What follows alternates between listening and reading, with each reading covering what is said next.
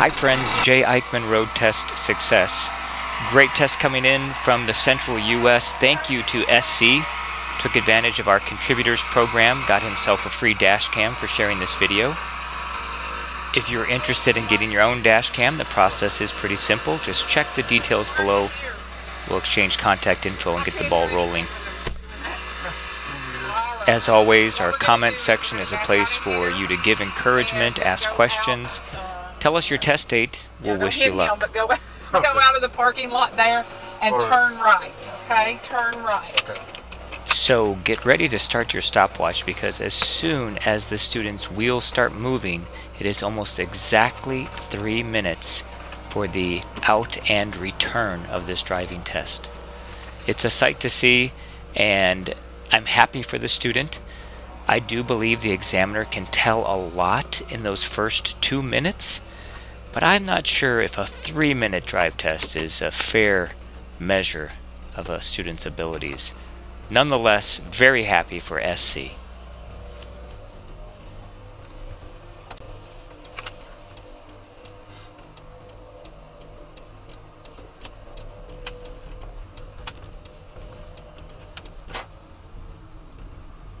You go down to the stop sign and turn right. Okay.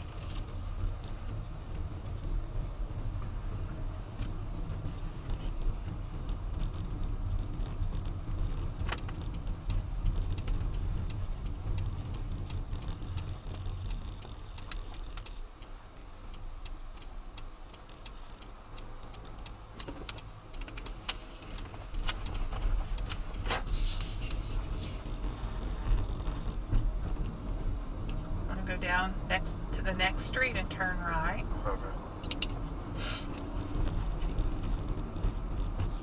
So not your right? The next one. Yeah, that's the road. All right. That's yeah, there, right there. Here. Yeah.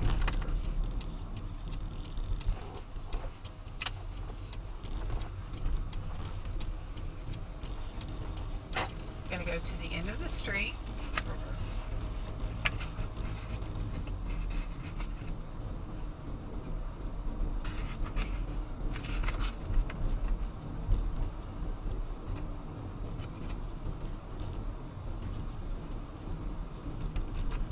Okay. To the stop sign and turn right.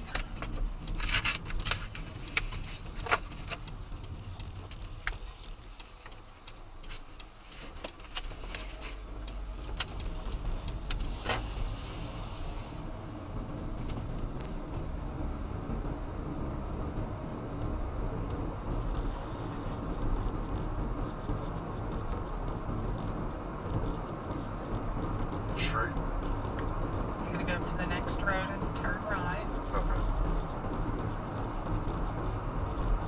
Right here. Oh. So typically when you return to the DMV after just that first block, it's because there was some sort of critical error. And I thought that was the case when I first previewed this video. I thought maybe that last stop sign got the better of them.